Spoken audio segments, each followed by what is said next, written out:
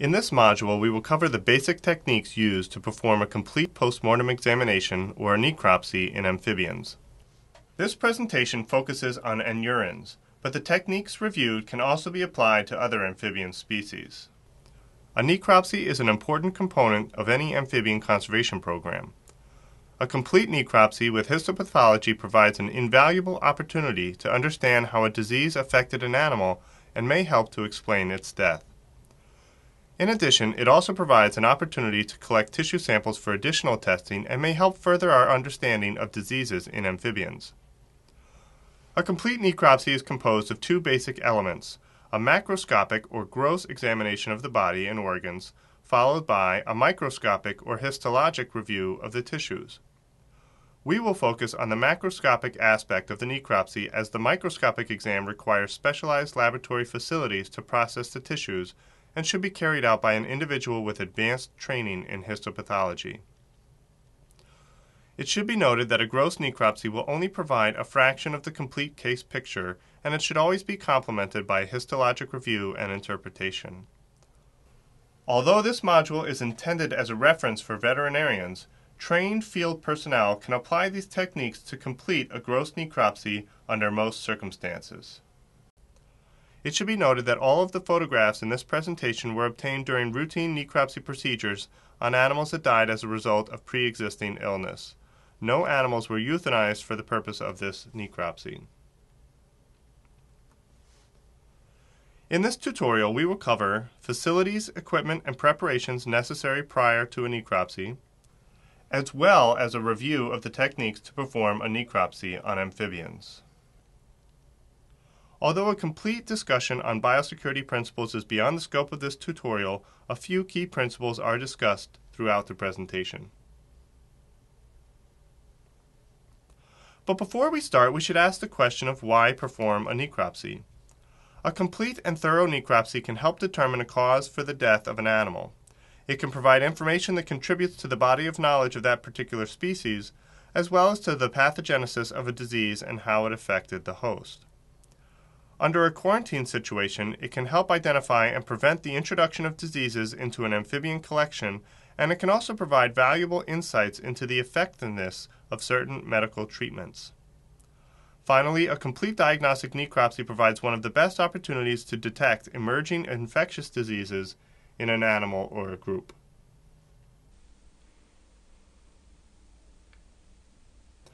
Whether in a laboratory or under field conditions, a necropsy should be carried out in an area separate from those designated for the medical care of animals or for quarantine.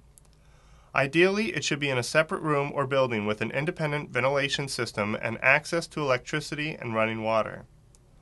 The working surfaces and the floor should be made of non porous materials that can be easily cleaned and disinfected. Instruments and equipment used for a necropsy should not be used for any other purpose. All the equipment used for a necropsy should be cleaned and disinfected before attempting another necropsy. This will help to prevent cross contamination of any samples collected. Most necropsies on amphibians can be completed with a simple set of instruments and sample collection containers. It is very important to have a plan of action prior to the start of necropsy, as this will help maintain efficiency and avoid not having the supplies that you need. Remember that you are most likely the last person to see the animal intact, and documenting as much as you can is important. It is always better to collect and store too many samples than to find out later that the tissues or samples necessary for a critical diagnosis were not collected.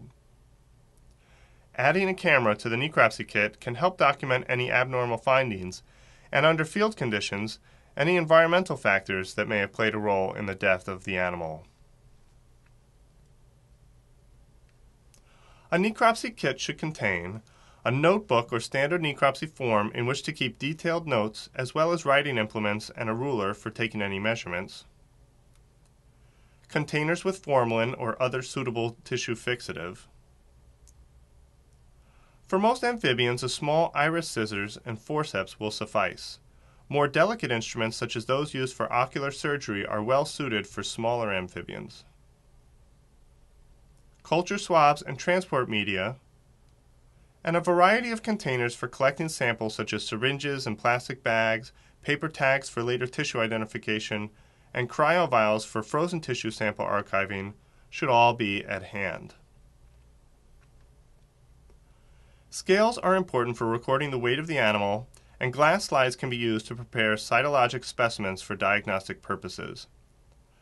Latex gloves should be worn as they are important for maintaining biosecurity and should be changed before another necropsy is started.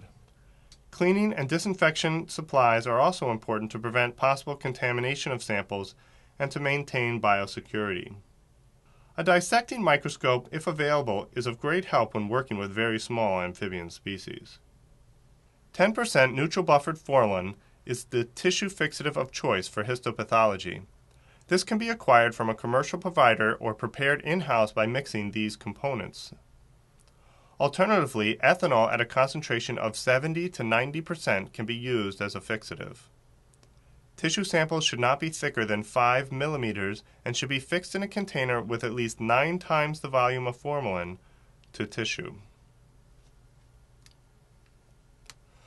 In some instances, decomposition of the body will make it impossible to identify and collect tissues for histopathology. However, with access to modern molecular diagnostic techniques, there are some diseases that can be diagnosed even in animals as decomposed as these shown here. Presented here is a basic guide for an amphibian necropsy. You can pause this tutorial at this time to reference the guide. Two necropsy techniques based on the size of the animal are discussed. In animals that are smaller than 20 grams, the body cavity should be carefully exposed, appropriate samples collected, and then placed in the fixative solution for whole body histopathology. In larger animals, once the body cavity is exposed and appropriate samples are collected for microbiology and tissue archival, the entire coelomic viscera are examined and all organs are sampled for histopathology. We will focus on this method. But before we do, there are several anatomic features of importance in amphibians that should be kept in mind during the examination, including the subcutaneous lymph space, coelomic fat bodies, Bidder's organ, and the paravertebral endolymphatic sacs. Several of these will be illustrated in the following images. Once all the tools and implements are ready, it is important to perform a thorough external exam of the body noting any wounds, lesions, or discolorations on the skin, eyes, and mouth. This is also a good opportunity to check for fractures and other signs of trauma. Here are two examples of eye lesions in two amphibians and a cloacal prolapse with involvement of the ovary in another animal. To start a necropsy, place the animal in dorsal recumbency and perform a superficial incision that extends from the pectoral area to the inguinal region. Reflect the skin to the sides, which exposes the abdominal muscles and the peritoneal membrane. The potential space that exists between the skin and the body wall is the subcutaneous lymph space. Under certain disease conditions or impaired osmotic balance, this space may become filled with fluid. Samples of this fluid, if present, may be collected for cytology and culture. Incise through the peritoneal membrane from the pectoral area to the inguinal region. This exposes the heart, lungs, liver, portions of the gastrointestinal tract, and the urinary bladder. If there is accumulation of fluid within the coelomic space, this fluid can be collected at this time with a syringe and needle for cytology and culture. This is a good opportunity to collect a small sample of liver and place it in a cryovial for frozen archival. This sample could be used for toxicology or nutritional assays. It can also be used for virus isolation.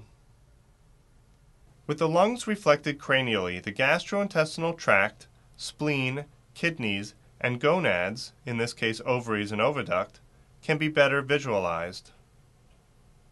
The ovaries in this animal are inactive. In reproductively active females, the ovaries can become massively enlarged with ova and fill the entire coelom. Note the absence of coelomic fat bodies in this case, which is indicative of prolonged negative energy balance.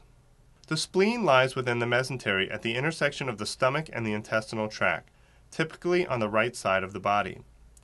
Due to the small size of the spleen, it is best to collect it as soon as it is seen and place it in a plastic cassette so that it is not lost in the formalin container. The heart can be removed at this time and also placed in a plastic cassette.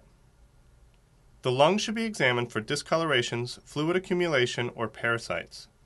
To sample the lungs, each lobe should be severed as close as possible to the trachea, at which point they usually deflate and collapse. However, in many cases, the lungs will collapse as soon as the body cavity is opened. If there has been accumulation of fluid within the coelom, the lungs are often collapsed by the fluid pressure and are recessed into the cranial coelom. The urinary bladder can be sampled at this time. Please take note of any contents present in the bladder. To remove the remaining viscera, make an incision along the bottom jaw and reflect the tongue ventrally. This exposes the oral cavity and the caudal aspect of the eyes. Examine this area for abscesses or other lesions. Using gentle traction, elevate the tongue and undermine the soft tissue connections of the viscera and reflect until the distalmost aspect of the colon is all that remains attached. This is a good time to collect, if necessary, a sample of kidney into a cryotube for potential ancillary diagnostics, such as ranavirus PCR.